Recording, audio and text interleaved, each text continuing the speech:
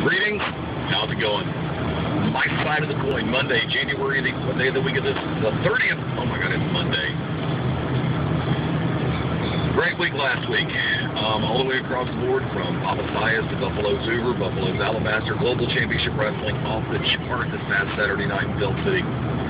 Um, you might want to keep your eyes open on GCW Radio, GCWPro.com for Tuesday. 8 p.m. Central, 9 Eastern. I will be back to host the GCW radio show. And for the record, yes, I am doing this and driving again. How you doing? Um, no, Wicked Nemesis sitting there. Unfortunately, he has a life.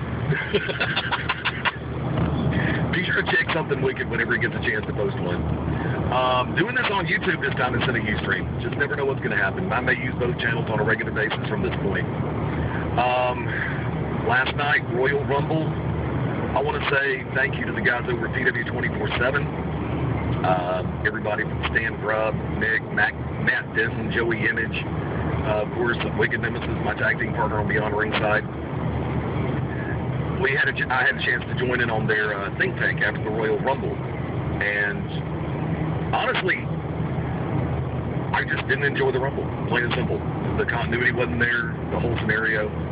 Um, the match itself for the Royal Rumble, well done. I enjoyed it. I think that them including the announcers in it and then being able to come back for Michael Cole to do the payoff and go, hey, Booker T, out of the three announcers, you had the longest time in the ring. I was good with that. Um, Road Dog, BG James coming back in for a night. Thank you.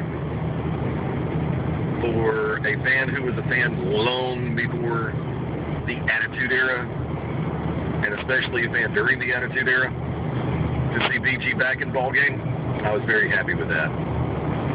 I uh, got a lot of notes I want to cover. I'm going to do an installment of this later tonight right here on the YouTube channel and may just simulcast on Ustream if the phone can hold up. We'll put it that way. Yes, we're doing this by Android. Um, I want to say thank you to my tag team partners on Beyond Ringside from yesterday. Um, had a great time with the Royal Rumble pay-per-view party at the house. Kurt Bloom, thank you for coming. Uh, Benny, Jimmy, Jay, Brooks, thank you for popping over to the studio. Great to see you last night. I'm glad you had a good time at Ray Eccles event up in Coleman. I'm going around a curve, that's why I'm looking crooked right now. I've got the camera in front of me so I can actually see and drive while I'm doing this too. So if the camera moves, that means there's a state trooper in front of me. Um, I'm going to cut it for right now just to be on the safe side, but for everybody who's been listening to me on Ringside, who's been joining me at the live events, thank you. It means a lot, and it's greatly appreciated. Until next time, Fast Eddie Layne saying this is this has been my side of the coin. Bye-bye.